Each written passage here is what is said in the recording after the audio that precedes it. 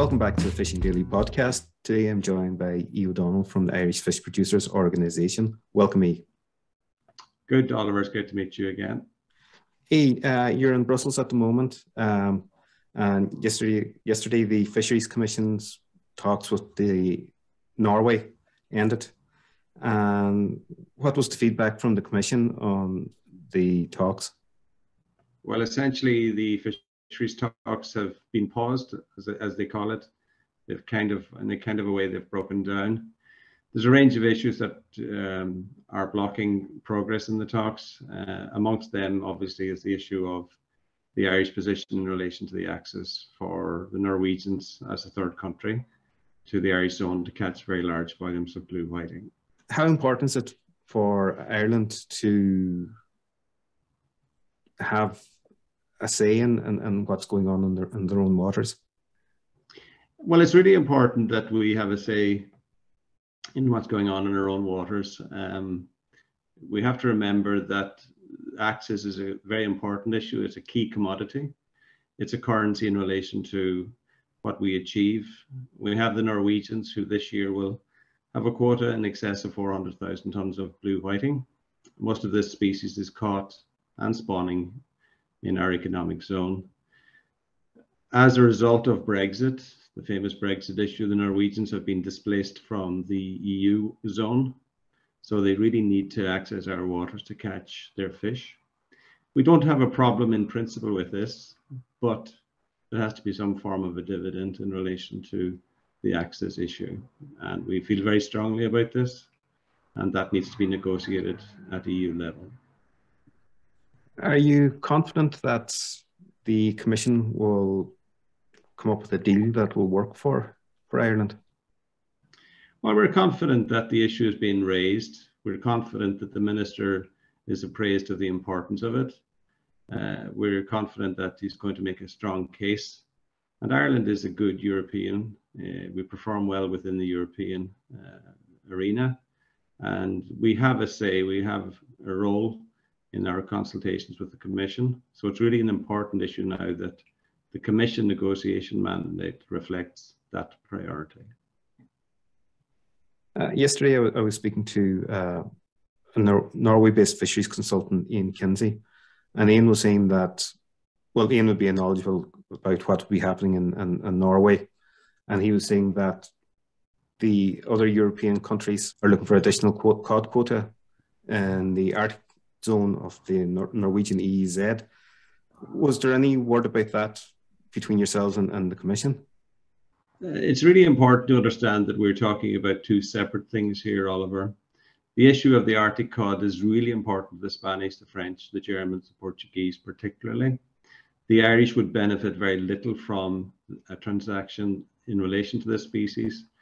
And for example, last year, the European Commission would have traded 31,500 tons of EU blue whiting as a swap so that the other member states would get, get up to 10,000 tons of Arctic cod.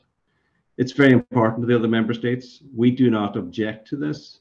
It's a separate issue, but the Norwegians separately are trying to get access to our waters to catch their blue whiting, including that transfer from Europe. Uh, and from a negotiating point of view, that issue of access to the Irish water is being conflated with the issue of the transfer. They're two very separate issues. What are the options that's that's on the tables? Have you have you uh, had word back from the commission? What's what what's the Norwegians looking for, and what's the commission looking for on behalf of the Irish? The Norwegians are quite clear, to be fair to them, and we have to respect that they negotiate very well and very firmly in their approach to, to these things. They're looking for a traditional uh, swap of blue whiting for their Arctic cod. They've also asked for an increase in that. That, that is a traditional, long established swap arrangement to the benefit of other EU member states. We get 3% of that cod. The only issue there is the quantum of blue whiting that is swapped. And I'm sure the Commission will come to some form of settlement on that, which ultimately we will support, although it's important that the value for money in that uh, is fair. Separate to that, there's the issue of the access to the Irish zone. On that, we feel very strongly. The Norwegians, for their part, because they need this access to catch their blue whiting quota, uh, see it as being paramount, and they're making it a very important issue of the overall deal. But we must remember that Norway will have a quota of 400, maybe 450,000 tons of blue whiting. We will have a quota less than one ninth of this. They have a vessel fleet of approximately 280 vessels. We have about 23 to 30 vessels of the same class. So it's really important that the Commission, our member state officials, and our minister defend our position in that regard. Well, we've sort of been down this road before where we put our trust trust in the EU to do the right thing for for Ireland, and that was back in the Brexit talks.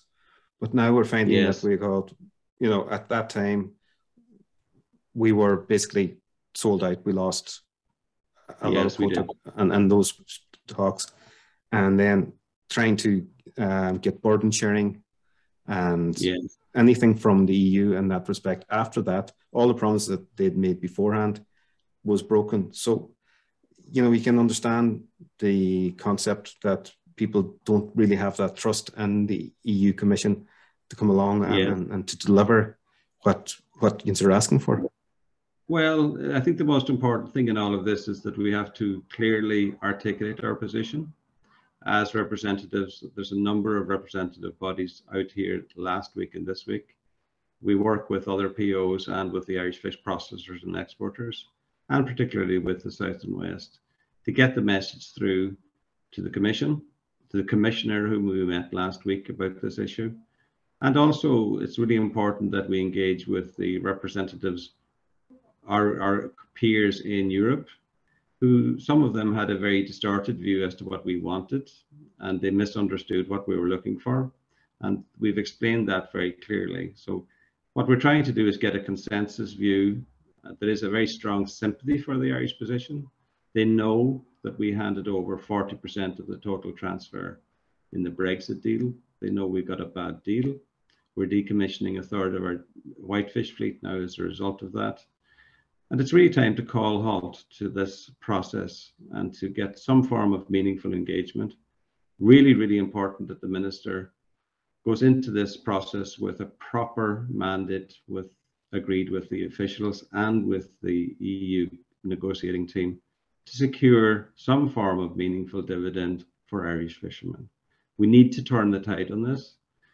And industry at both catching and processing sectors are firmly of the view uh, no deal is better than a bad deal.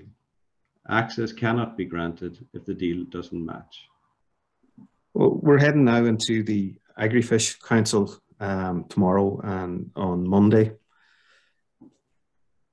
We'll be hoping to see an improvement on some fronts there, even though we will be losing more quota because the trade and cooperation agreement.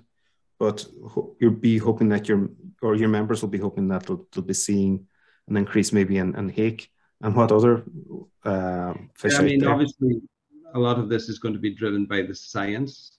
Uh, it's important that at a political level that we get benefits that match the science where possible. There are some key species that are getting an increase. There's some increases in nephrops, and we also have nephrops members who are very important to Ireland. And nephrops fishermen suffered a lot under Brexit. So the science is positive there. So hopefully at a political level, now that we're getting through some of the technical discussions, that there will be a positive outcome for some of these species. Horse mackerel is in a bit of trouble. That's still being negotiated. Um, but the really positive one, obviously, for the pelagic sector is that there's an 81% increase for blue whiting.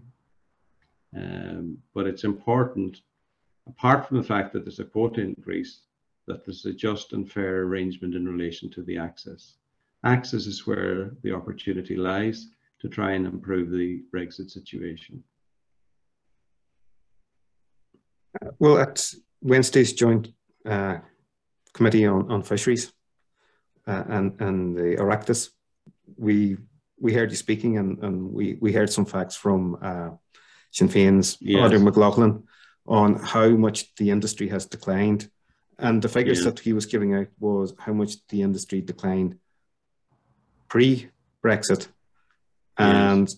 we probably don't have really a clear idea yet of what the post-Brexit is because we had we've had COVID and now we've had yeah. the Ukraine war. You're, what's it like at the moment? We're, we're seeing a lot of people, a lot of fishermen applying for decommissioning. Do you yeah. think the whole circumstances that's been surrounding since Brexit, COVID, and the the war in Ukraine, you think that's driving a lot of the fishermen to consider decommissioning and getting out of the industry? Yeah. I mean, the resilience of certain segments of the fleet are really under uh, in a difficult situation. The profitability has gone out of big segments, particularly of the demersal fleet. Also, with the quota cutbacks in relation to horse mackerel, for example, in the coming year, uh, and the mackerel situation is still relatively uncertain as to whether it's going to be cut or will there be a small increase or not. Uh, people are facing into a very difficult situation, and the other external factor, obviously, is the cost of fuel. I mean, uh, from a European assessment point of view, it's felt that they suggest that 60 cents a litre is the economic price for marine fuel for vessels to be resilient.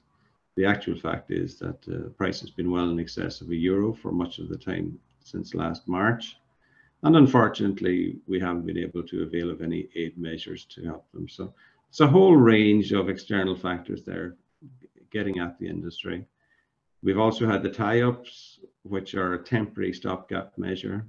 Um, they also have indicate shown a situation where fish landings were much reduced. So we can feel that in our bones. All you've got to do is drive through the main ports and see the number of vessels that are tied at the pier. Um, the challenge here is we also still have vessels from other member states and non-EU states out there fishing. So we have to get some benefits back. We have to address the access issue. And the minister quite rightly has pointed out that we need to address the ICCAT issue on things like bluefin tuna to give some form of uh, alternative fishery for our vessels. Going back a little bit on onto the fuel, the minister said there's nothing there for him to cut because there's no tax and excise on on the on the diesel. There is on, on yeah. petrol for for inshore fishermen using petrol engines, uh, and the VAT's fully reclaimable for for the fishermen. But could the minister go further and say, like, subsidize the fuel maybe twenty cents a liter or something yes. like that?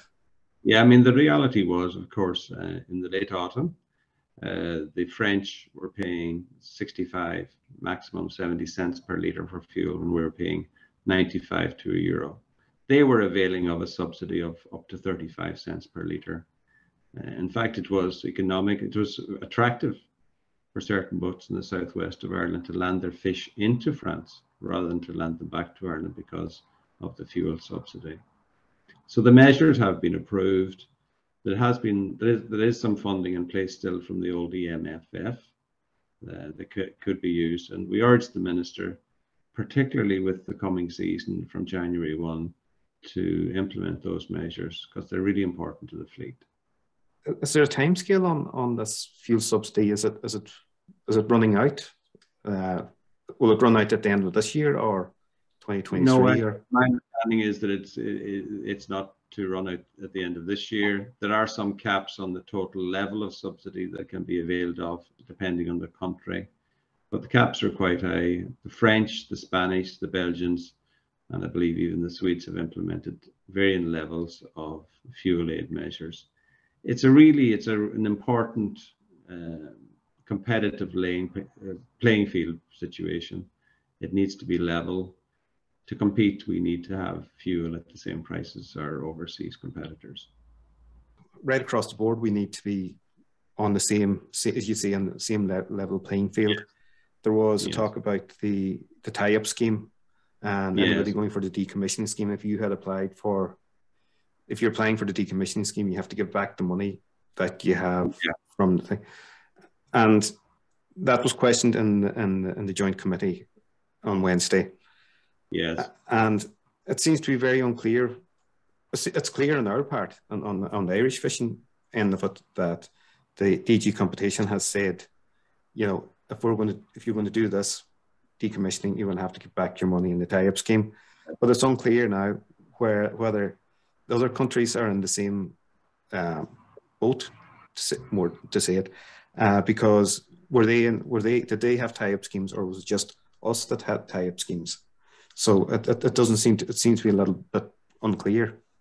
Yeah, the, it needs a little bit of work, Oliver. Uh, certainly, other member states have implemented the um, full, the permanent cessation scheme in, in different ways.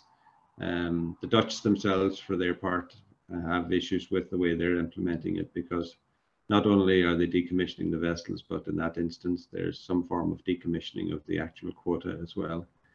Uh, it's important that there is clarity. Uh, the criteria had been changed a number of times, but um, uh, it, it just needs a little bit more work. Our, our processing industry, that's something that you you were speaking about in, in the joint uh, committee as well. How much hammering is that taking into? I know, I know it's not your your area; it's more Brendan's area. But that's Brendan's it, area. Yeah.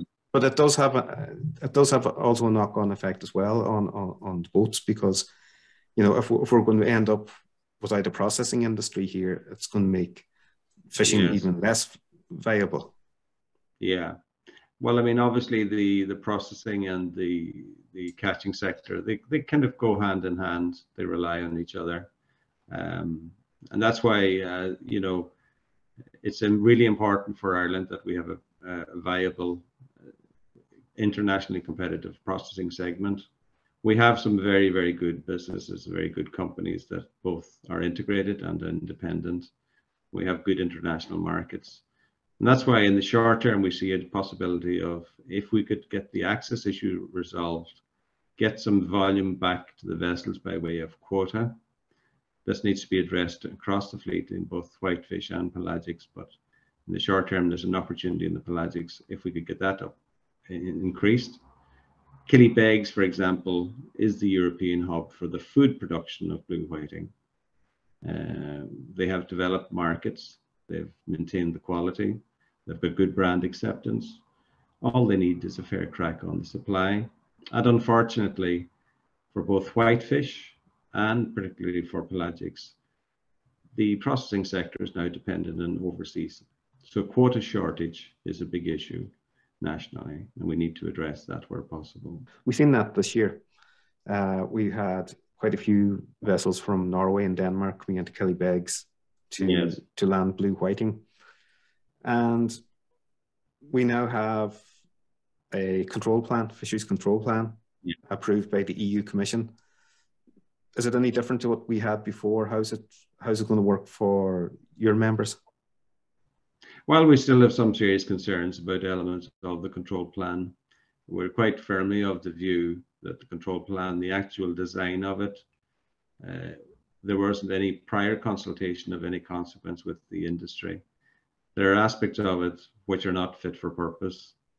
Uh, the, the, the provisions within it, the protocols within it, particularly to do with things like the speciation and the sampling of the fish and the way it's documented, are very complex, they're unnecessary, and they're in some ways, from a documentary point of view, they're doomed to fail. So we've got to try and work with the competent authority to get that resolved. It's very germane, it's really relevant to the first time buyers, the processors particularly. Uh, but we do need to compete, we need a harmonized control system, a procedure that makes sense, and um, that underpins the, the landing of fish from both domestic and overseas vessels into Irish ports. It was very complex this year when when them vessels came in, and and, and as you say, like something that we call that needs to be a lot clearer and maybe a, a lot simpler. Uh, yeah. In order to make it easier for the Irish boats to exist and for for any boats coming in into the country to land? I I, th- I think it's really important that we don't that we have uh, procedures and protocols that make sense. We don't want to displace supply, particularly from foreign vessels. We rely on them. Very often, the fish are caught well within our own waters, based on EU quotas. Uh, but we need to work together with the control authorities and have their cooperation to make sure that everything's fit for purpose.